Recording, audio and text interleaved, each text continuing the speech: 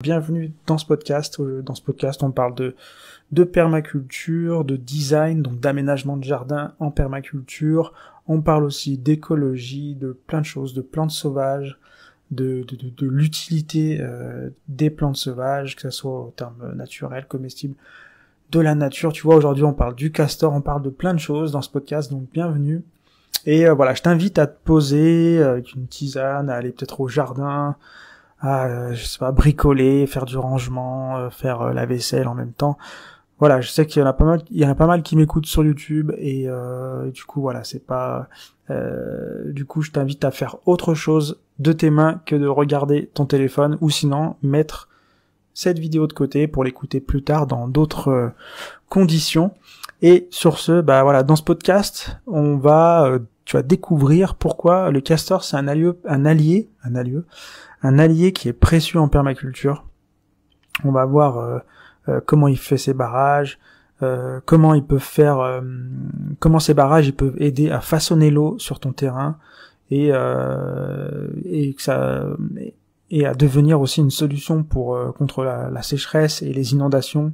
On va parler aussi notamment de son rôle écologique, pourquoi il fait le débarrage, à quoi ça sert, tout ça. Tout un tas d'infos qui vont nous aider à mieux comprendre le castor et, euh, et à mieux euh, bah, justement euh, euh, s'en servir entre guillemets ou au moins apprendre à cohabiter avec lui et, euh, et à euh, co-construire et, euh, et, euh, et voilà utiliser toujours toujours cette euh, cette euh, vision des choses qui est de travailler avec la nature et non contre la nature. Utiliser les forces de la nature à notre pour servir nos objectifs. Voilà. Donc je te dirais également où est-ce que tu peux te former euh, pour faire la, la pour construire des barrages de castor mimétiques parce que oui on peut euh, ça se fait de plus en plus. On, on, on- imite le castor. Euh, là voilà. Par exemple dans ton terrain t'as pas forcément de t'as pas de castor mais t'as un cours d'eau et ben il y a des solutions pour justement imiter les barrages de castor et toujours être dans cette euh, euh, de, de fait de ralentir l'eau. Et voilà on est vraiment dans euh, euh, là on va plus loin que juste utiliser les forces de la nature mais on va essayer vraiment de copier les forces de la nature. Euh, et du coup tu verras c'est hyper intéressant. Je te dirai voilà où tu peux euh, te former à, à ces constructions de barrages comment on fait un petit peu j'en parlerai un petit peu. Et voilà c'est vraiment un podcast qui s'adresse on va dire aux designers à ceux qui, qui, ont un terrain ou qui euh, qui veulent réaménager leur terrain qui sont dans le design en permaculture. Mais voilà si t'es juste euh, tout simplement euh, permaculteur ou euh, tu veux devenir euh, permaculteur ou designer eh ben tu verras ça va ça va aussi grandement t'intéresser. Et puis même si t'es juste tout simplement curieux t'es bienvenu tu vas apprendre plein de choses et et, et voilà. On va parler un peu du castor hein, pour commencer. Comme je disais on va essayer de le mieux le comprendre de de euh, voilà de faire un petit peu euh, une fiche d'identité du castor et euh, voir son rôle. Donc en gros le castor ça ressemble un peu à un ragondin je sais pas si tu vois ce que c'est. Aussi la marmotte si t'en as déjà vu ça ressemble un peu à, à ça mais c'est quand même assez gros. Ça peut faire avec sa queue il peut aller jusqu'à euh, 80 cm de long pour une vingtaine de kilos euh, donc voilà, c'est un, un mammifère comme ça, euh, à quatre pattes, euh, avec un peu une tête de, donc comme je disais, euh, marmotte, euh, tout ça, et avec un pelage assez brun. Et il a aussi devant, il a des dents qui sont très, il a quatre dents en fait, qui sont assez longues, qu'on on les voit assez bien. C'est avec ça qu'il va ronger le bois et faire tomber des, des arbres, quoi, abattre des arbres carrément. Et euh, la particularité de ces dents, c'est qu'elles poussent euh, tout le temps en fait. Elles sont tout le temps en train de pousser et lui, en fait, en, rongeant euh, le bois, bah, en fait, il les lime naturellement. Donc du coup, voilà, il a quand même, c'est un peu, un peu comme nous, les ongles en fait qui poussent tout le temps. Bah eux, c'est les dents en fait qui poussent, qui poussent tout le temps. Une autre particularité, c'est qu'il a les pattes arrière qui sont palmées, voilà. Pas les pattes avant. Les pattes avant, elles sont plus pour euh, utiliser des, des, des choses, euh, enfin manier des objets, manier des troncs d'arbres et tout ça, et les pattes elles vont plus l'aider à, à naviguer dans l'eau, parce que c'est un, un mammifère donc qui euh, vit euh, principalement euh, pas dans l'eau, mais voilà son milieu c'est l'eau. Et euh, voilà, il a aussi une longue queue plate, donc ça c'est vraiment un point où on le reconnaît, euh, si on peut confondre facilement avec le ragondin. Et, euh, et en fait là, sa longue queue plate, C'est vraiment aussi, ça peut lui ça lui sert de gouvernail dans l'eau, ça le sert aussi à, à, à se déplacer dans l'eau, à accélérer quoi. Et, euh, et aussi petite chose marrante, c'est qu'il il peut aussi donc au lieu d'avoir la queue en arrière, il peut la mettre plutôt en avant et il va s'asseoir et il va servir de sa queue en fait pour euh, manger en fait tout simplement il va mettre le bois dessus c'est un peu comme son assiette sa queue et euh, des fois on peut le voir euh, on peut le voir faire comme ça quoi et voilà petite petite histoire c'est que le castor représente aussi la première espèce protégée du moins en France d'après mes recherches c'est la première espèce protégée je crois qu'il y a eu d'autres espèces euh, donc là, lui, c'était en début du XXe siècle, en 1909, dans les Bouches-du-Rhône, dans le Gard euh, et le Vaucluse. C'est là où il a commencé à être euh, protégé, parce qu'à l'époque, on donnait 15 francs à celui qui rapportait une queue de castor, parce qu'à l'époque, donc, il était accusé de percer les digues, de ronger les arbres, d'inonder les cultures. Enfin, c'était un, un, emmerdeur. Et du coup, on donnait 15 francs pour par queue rapportée au castor. Et du coup, on est on a, euh, on a quasiment éradiqué le castor à cette époque. Euh, mais depuis déjà, ça, ça faisait déjà depuis, euh, ça se faisait déjà depuis euh, déjà plus d'une centaine d'années, je crois. Ça a commencé au XVIIIe siècle, il me semble. Et, et donc voilà. Bref, je crois que donc en France c'est le premier première espèce d'animal protégé. Donc voilà, la LPO, tout ça, la, les protections des animaux, bah, ça a commencé avec le castor.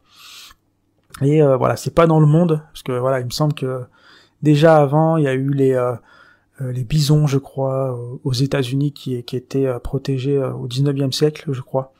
Mais voilà, d'après mes recherches en France, c'est vraiment la première espèce à être protégée. Donc petit clin d'œil intéressant. Et voilà, et autre particularité, comme je disais, le castor mange du bois. Et qu'est-ce qu'il fait de ce bois? Eh ben, il le mange et aussi il s'en sert pour faire des barrages. Donc vraiment, il est vraiment autour du bois. Euh, voilà. Donc pourquoi il fait des barrages dans l'eau? Pourquoi le castor fait des barrages?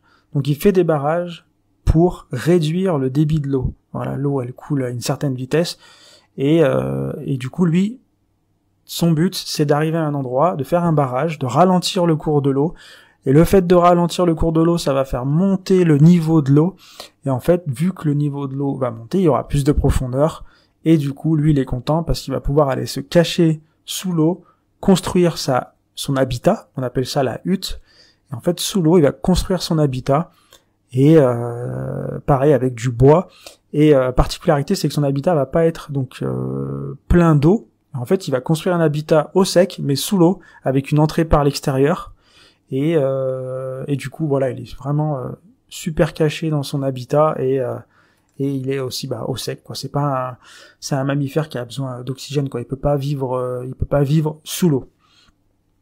Et pourquoi il fait des castors? Aussi pour agrandir tout simplement son territoire pour avoir un meilleur accès à la nourriture. Donc d'une il va installer son habitat sous l'eau. Et en plus le fait de faire remonter l'eau il va avoir donc euh, si c'est un cours d'eau, une rivière ou quoi, ça va un peu déborder, ça va aussi peut-être parfois ça fait aussi remonter des nappes phréatiques, ça fait euh, voilà remonter pas mal d'eau et du coup ça euh, modifie le milieu et du coup bah du, vu qu'il y a plus d'eau, bah il y a forcément moins de prédateurs qui vont pouvoir venir le le l'embêter dans, dans, dans, son milieu et du coup il aura un meilleur accès à sa nourriture euh, qui sont généralement euh, des peupliers, des saules, des bouleaux, voilà, tout, tout ce qui pousse comme ça au bord, euh, en général au bord de l'eau. Et du coup, bah là, il va être un peu plus tranquille.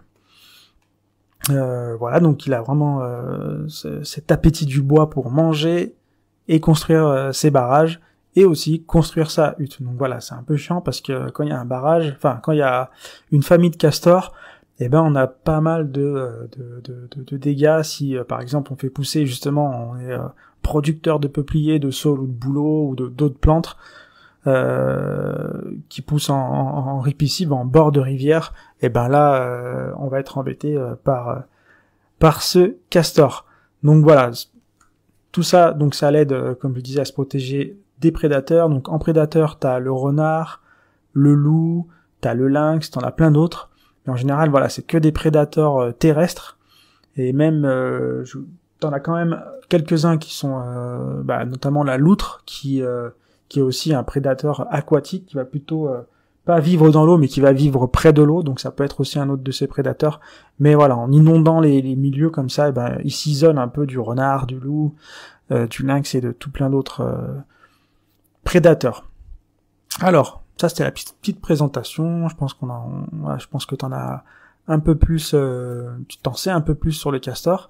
Et maintenant, on va voir pourquoi c'est intéressant le castor. Pourquoi il est intéressant dans ces barrages, dans tout ça. Euh, quand on veut faire de la permaculture. Alors déjà, je vais faire un petit lien vu qu'on parle de castor et de permaculture. Je sais pas si vous savez, mais euh, la permaculture elle a émergé au même moment que le premier parti politique écologique, euh, les, les, Verts quoi, a émergé au monde en fait. C'était dans les années 70 en Tasmanie et c'était le United Tasmania Group euh, donc en 72, qui est euh, donc ça a été officiellement le premier parti politique vert au monde. En fait, c'est un parti politique qui a émergé pour protéger une rivière, la rivière Franklin, euh, parce que c'était une rivière qui, qui, donc allait être canalisée et endiguée. Et du coup, bah voilà, il y avait des des, des écologistes qui étaient contre ça et qui ont monté un parti politique pour se battre contre ça. Et euh, du coup, c'était une histoire de barrage. Je trouvais ça intéressant de faire le lien entre euh, la permaculture et euh, le castor et, cette histoire de, barrage, de premier parti politique, etc., etc. Donc, de voilà. Il y a David Holmgren qui a déclaré à l'époque l'environnement physique et culturel qui a donné naissance à la permaculture a également promis, produit le premier parti politique vert au monde. Parce que à cette époque, justement, euh, il y avait la permaculture euh, aussi qui se développait euh, d'un autre côté avec David Holmgren et Bill Monisol. Et eux, ils ont vraiment insisté sur le fait pour dire que la permaculture, c'est vraiment un mouvement qui est qui n'a rien à, qui n'a rien à voir avec la politique. Et ils ont ils ont souvent ils l'ont souvent revendiqué. Donc voilà, je voulais faire cette petite parenthèse sur sur le petit parti politique, tout ça quoi. Et, au même moment que la permaculture, les écologistes qui sont apparu et que finalement la permaculture c'est pas un mouvement écologique, euh, etc. Donc c'est c'est euh, c'était euh, intéressant. Donc voilà. Pourquoi on va s'intéresser donc euh, à ces euh, aux castors et surtout à ces barrages quand on fait de la permaculture? Bah tout simplement comme je disais, c'est que le le barrage il va ralentir l'eau. Et en permaculture, j'en parle souvent, mais l'énergie c'est un flux qui ne peut pas être conservé. Euh, en gros, euh, en permaculture, on, cherche à comprendre qu'est-ce qui, euh, quelles sont les énergies qui vont traverser notre terrain et qu'est-ce qu'on va, qu'est-ce qu'on va pouvoir faire de ces énergies. Est-ce qu'on va pouvoir les, souvent on se dit oui, bah voilà, on va essayer de les, les stocker, tout ça.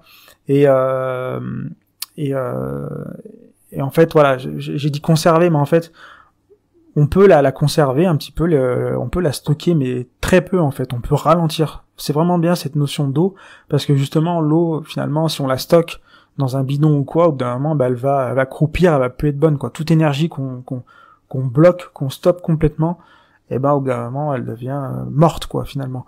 Et euh, finalement l'énergie on peut juste la conserver un petit peu on peut la ralentir on peut la rediriger un peu là où on veut on le verra avec les barrages de Castor qu'on peut justement, il y a différents types de barrages et des barrages qui vont plutôt ralentir, d'autres qui vont plutôt rediriger. Et, euh, donc voilà, on va servir de ces barrages pour ça. Et euh, du coup, c'est bien en, accord avec la permaculture, avec le principe numéro 2 qui dit récolter et stocker l'énergie, stocker entre guillemets, hein, finalement, ce, pas tout à fait d'accord avec ce, terme de stocker, mais voilà, on, conserver, ralentir, je trouve ça plus approprié. Et euh, voilà. À savoir, euh, il y a eu, euh, enfin, le fait de ralentir un cours d'eau, ça peut faire remonter euh, de l'eau, comme je disais tout à l'heure, quand un castor fait un barrage, bah lui, ça va faire remonter le niveau de l'eau au bord de, la rivière ou du cours d'eau. Mais comme je le disais, ça peut aussi faire remonter d'autres anciennes zones humides euh, parce que souvent les cours d'eau qu'on a euh, en France, euh, n'importe quel cours d'eau, en fait finalement c'est nous qui les avons un petit peu canalisés, endigués comme on a commencé au début de l'agriculture intensive où on avait besoin de plus de, terre, et eh ben on a commencé à endiguer, canaliser les cours d'eau. Et du coup, si on commence à faire des, barrages où on a des castors qui viennent faire des barrages, eh ben, ils peuvent faire remonter un peu des anciennes zones humides. Peuvent refaire revenir le décor de d'auparavant. Et c'est ce qui s'est passé donc en Isère, du côté de Solémieux. En gros, il y a un barrage de castors qui a euh, c'était un cours d'eau de 2 mètres de large et de 30 cm de profondeur. Et en fait, euh, le fait euh, qu'il y a un castor qui vient de faire un tout petit barrage là de 2 mètres de large et 30 cm de profondeur sur ce cours d'eau là, et bien en fait ça a, ça a fait remonter de l'eau sur 20 hectares. Et, du coup voilà, ça peut aller très vite. Donc d'où l'intérêt de se former, on va en parler plus tard.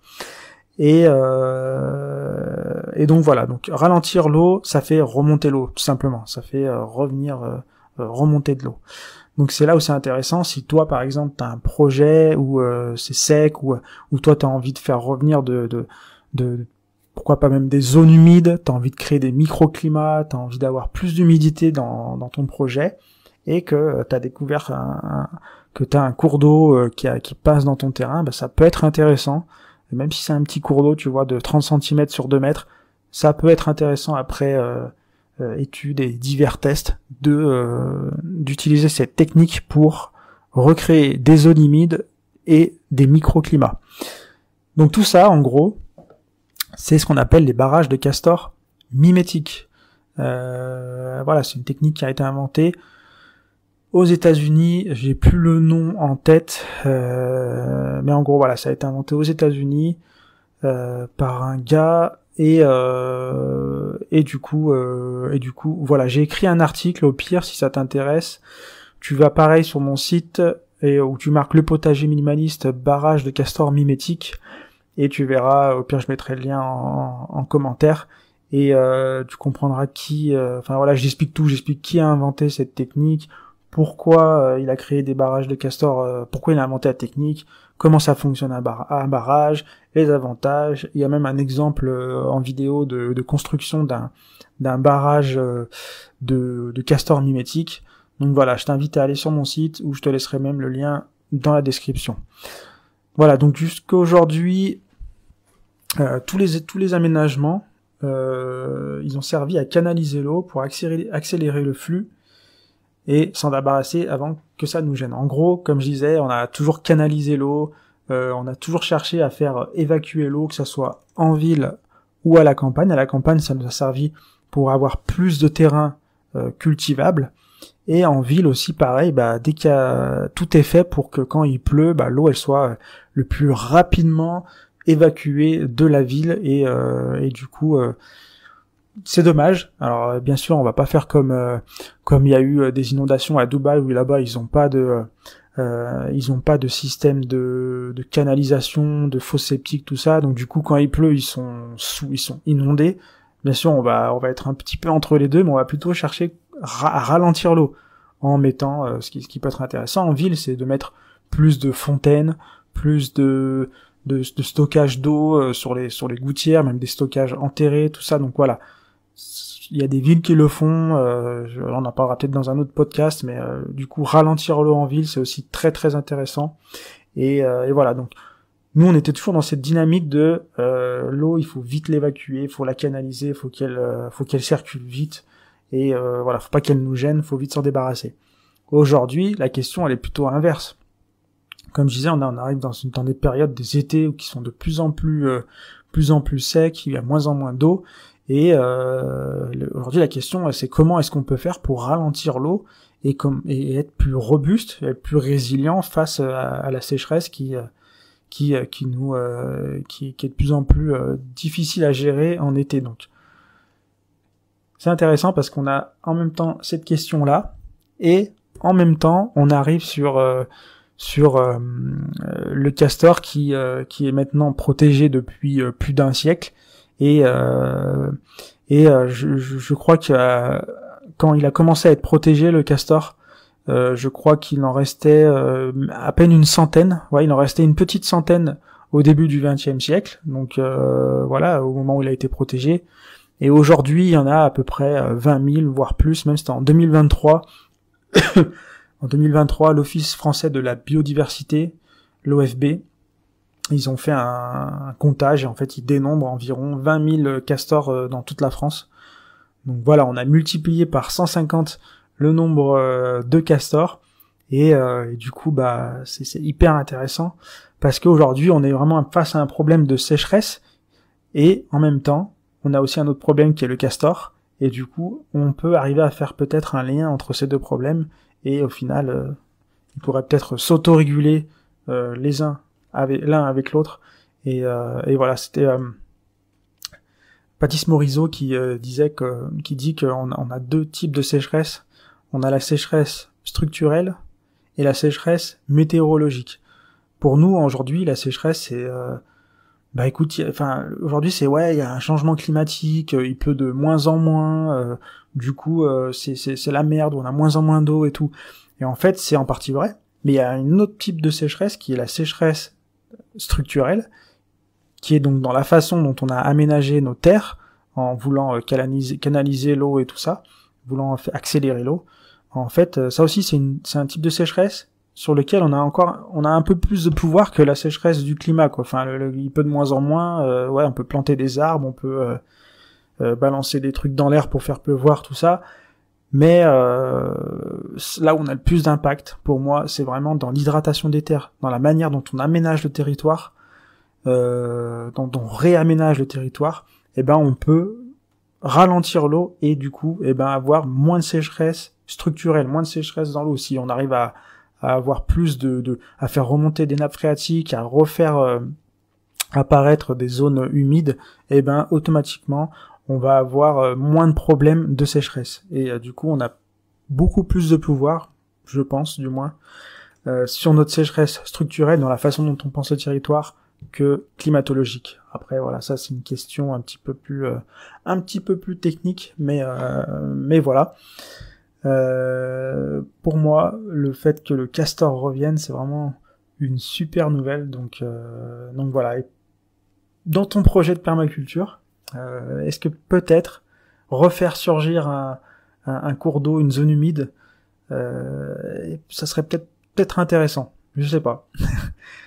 le, castor, finalement, c'est peut-être un, ingénieur écologique, un incroyable ingénieur écologique, et du coup, ça peut être intéressant de de s'inspirer euh, de lui.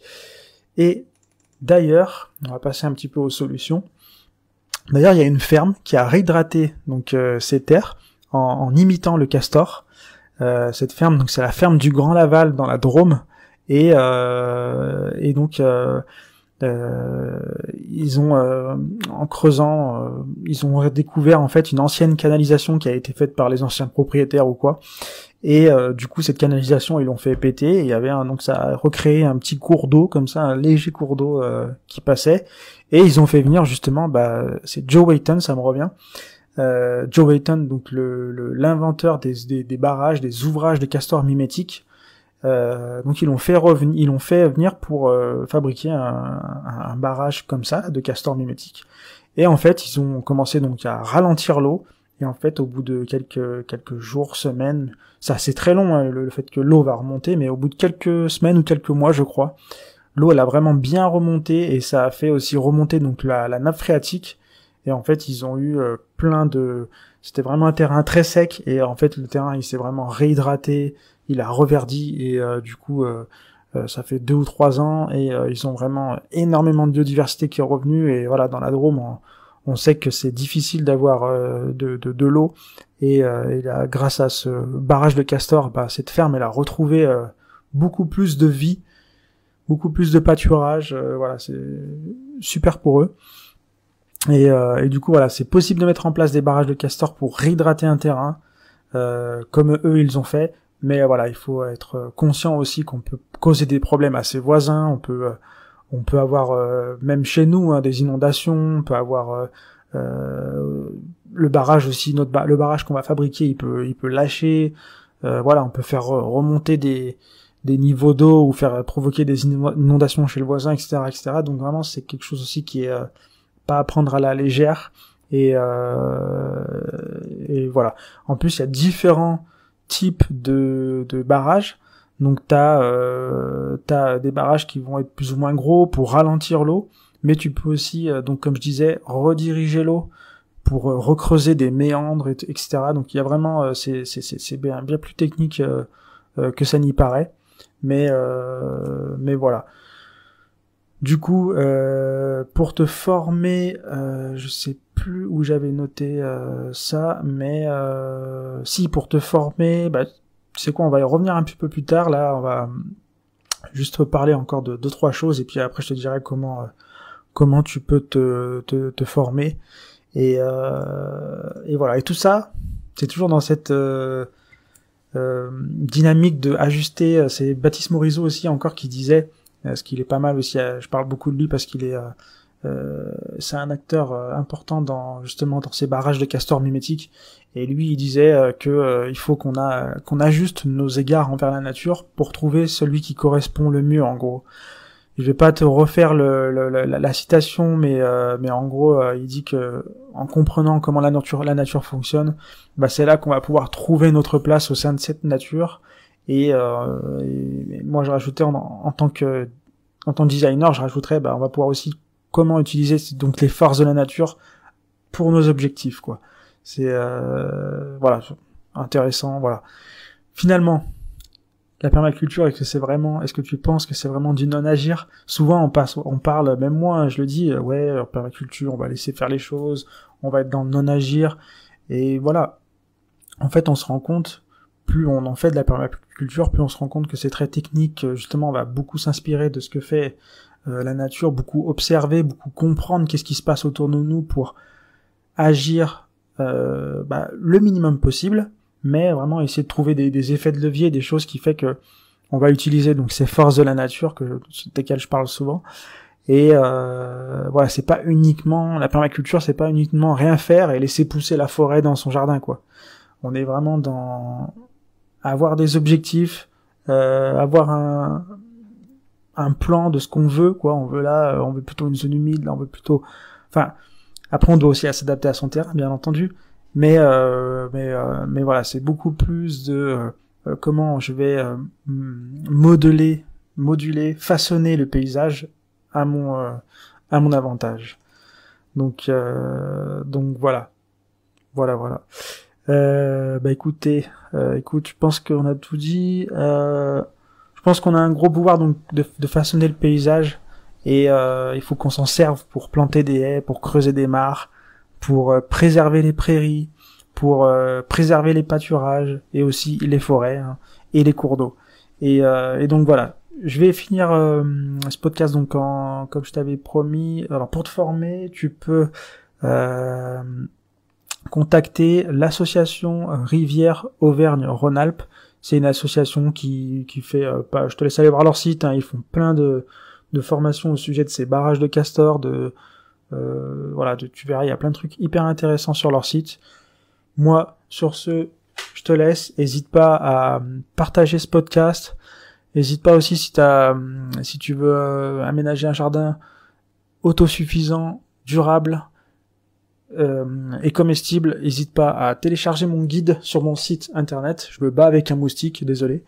Mais n'hésite pas donc à télécharger euh, mon guide sur mon site internet, le potager minimaliste. Tu verras, c'est euh, un bon guide pour démarrer un jardin, réaménager un jardin en permaculture. Et voilà, sur ce, je te laisse et on se retrouve dans un prochain épisode.